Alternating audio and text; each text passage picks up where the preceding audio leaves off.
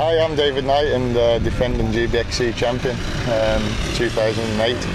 Just busy with the old BMW thing up until now. I have been, um, you know, we're trying our hardest with that and, um, you know, trying to get dialed in and trying to concentrate on world, like, you know, enduro sort of races rather than cross country. And um, yeah, as you know, that's all, you know, like, we split with the BM thing and uh, went to America last week, did GNCC on a Kawasaki, and uh, that all went really good. And um, yeah, so really just going to deal to ride Kawasaki for the rest of the year, and um, yeah, it should be pretty good, really. Which, looks, what I've seen, I've just looked at a little bit of the track at the start, and uh, looks quite good fun. So looking forward to it.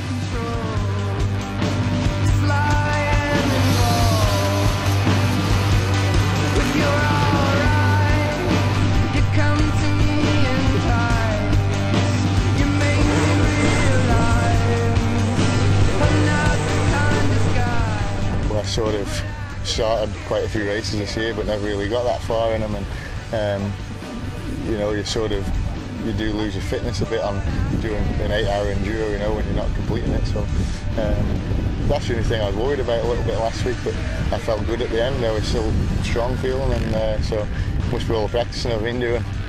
You know, I don't regret the BMW thing at all. I think I've learned a lot of things from it, and um, you know, you can only learn by by things in life, and um, I've sort of, you know, there's a lot of pluses to take out of it.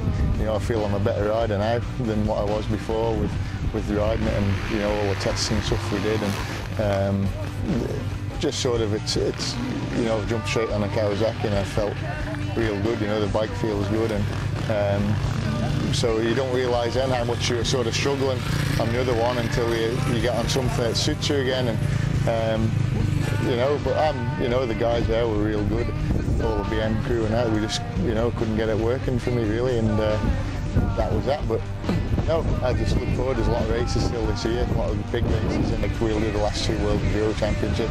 Mexico is a little bit, you know, that's only a couple of weeks time, so we're not going to get organised properly for that. So I'm just going to do the last two, Greece and France, and uh, hopefully ISDE and um, and all the indoor races and Romania, some indoors in America, all that type of thing. So it'll be good. You know, I'm going to be flat out really now. So that's what I want to do. I want to be busy every weekend racing, and uh, you know, we didn't. I didn't have that. You know, before with the BM, we were sort of limited to races. So um, yeah, I can get back on and have a bit of fun.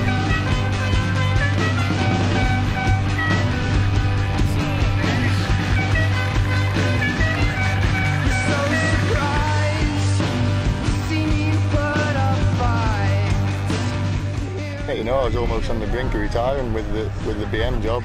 You know, I was that unhappy riding it, and um, but yeah, as soon as I got on that last week in GNCC, I didn't know if you know if it would all come back good again or if I'd still not wasn't enjoying riding or whatever. I didn't know, and I had real good fun there, and that was sort of you know I'm all up for it again now and all happy and, and excited to ride, and um, yeah, I'll just ride as long as I enjoy it, and you know I think we've got a good good team trying to be behind us there with the Kawi thing, and um, you know we've got to build it up. But you know they're seeing a good bunch, and I know all uh, all of Birdie's crew from World Superbike, and um, you know they're, they're, passionate about it, and um, yeah, I want to win more than ever, and feel like I'm riding a lot better than I ever have done. Um, you know, so yeah, we'll see, see what happens.